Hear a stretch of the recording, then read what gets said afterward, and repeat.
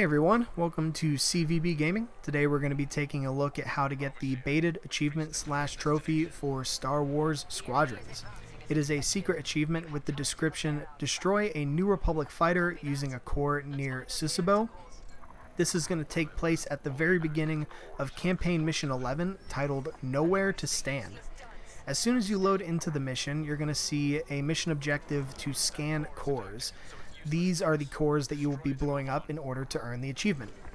As you scan the cores, you're going to notice that they turn red. This means that they are ready to detonate upon shooting them.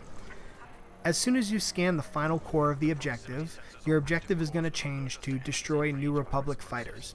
Turn around immediately and you're going to see these fighters funneling in near where you scanned the first core of the last objective.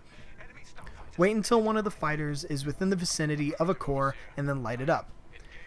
Luckily, the cores have a very generous explosive range, so they're not too difficult to get this achievement, but in the event that you destroy all of the cores without getting a kill, just reload from the most recent checkpoint and then try again until you get the achievement. As always, see you next time and thanks for watching.